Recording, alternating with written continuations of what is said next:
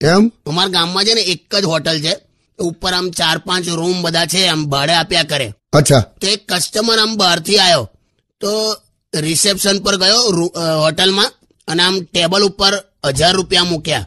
અને પેલા હોટલના માલિકને કે કે મારે છે ને ઉપર બધા રૂમ જોવા છે કે અમારે રોકાવાનું છે એટલા માટે. તે ઉપર ગયો. ઓકે. તે પેલો કસ્ટમર જેવો ઉપર ગયો રૂમો જોવા તે માલિક પેલા હજાર રૂપિયાની નોટ લઈને સીધો દોડ્યો ઘી વાળા પાસે ઘી વાળા પાસે જઈને હજાર રૂપિયા આપી દીધા અને એને બધો હિસાબ ચૂકતો કરી નાખ્યો. એટલે પાછલા ઘીના જે બાકી હશે બધું ત્યાં ત્યાં પૂરું કરી નાખ્યું. હા હવે પેલો ઘી વાળો એ હજાર રૂપિયા લઈને દોડ્યો સીધો દૂધ વાળા પાસે તો દૂધ વાળાને એને હજાર રૂપિયા આપી દીધા અને એનો હિસાબ ચૂકતો કરી નાખ્યો. ઓકે. દૂધ વાળો એ હજાર રૂપિયા લઈને દોડ્યો ગાય વાળા પાસે જ્યાંથી એ દૂધ લાયા કરતો હતો. એને હજાર રૂપિયા આપી દીધા અને એનો હિસાબ પતાયો. ત્યાંથી પેલો ગાય વાળો દોડ્યો સીધા પેલા ચારા વાળા પાસે. એને હજાર રૂપિયા આપી દીધા અને એનો હિસાબ આખો ચૂકતો કરી નાખ્યો.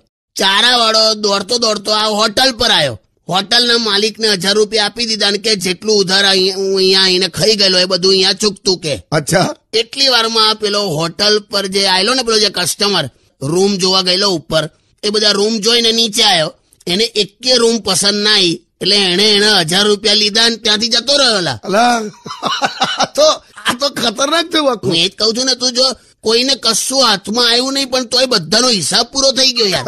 ખરેખર આ તો કંઈક બહુ વિચિત્ર થયું યાર. એટલે જ આ અર્થશાસ્ત્ર સમજવા આવતી વર્લ્ડ ઇકોનોમિક ફોરમની મીટિંગ આપણા ગામમાં ગોઠવલા સમજવું જ આ કઈ રીતે થયું? ના ના એવું જ થશે મને લાગે છે.